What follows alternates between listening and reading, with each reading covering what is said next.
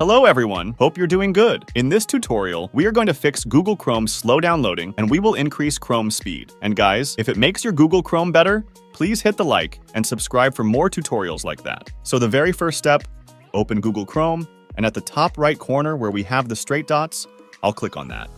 And then we will go to settings. The moment we click on settings, we need to go to this privacy and security.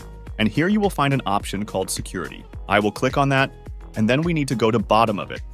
So here you can see use secure DNS determines how to connect to website over a secure connection. So if it is selected with your current service provider, what I would recommend to select, I select this with custom. And from here you can select Google Public DNS or you can select Cloudflare 1.1.1.1. Now you can try both of the things, both of the DNS and see which is better for you according to your location. So for me, Cloudflare and Google Public DNS both works fine, and this will definitely increase the performance of your Google Chrome. Once this is done, you need to close this window, and here what I would recommend to open it again because we need to make the changes as well. And here type Chrome colon a flags, just like that.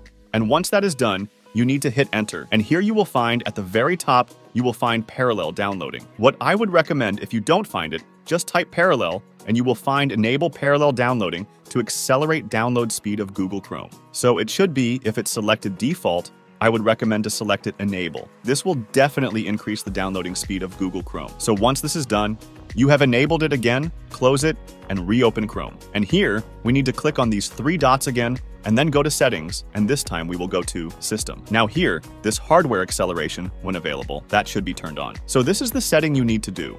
And one more bonus tip to increase Google Chrome speed is to click on these three dots and then go to Extension. Now here, under Extension of Google Chrome, you see I use my extensions. So I don't use much extensions. You can see one by one how many extensions are there. And if you do not use those extensions, you can remove it because any which way if you do not use it, and if you keep those extensions, it will take the internet. It will use the resources of your computer. So you can remove it and just reopen Google Chrome. And do let me know if it has increased the downloading speed and overall performance or not. And if yes, please leave a comment and please hit the like and subscribe. I'll see you in the next tutorial, guys. Have a wonderful day.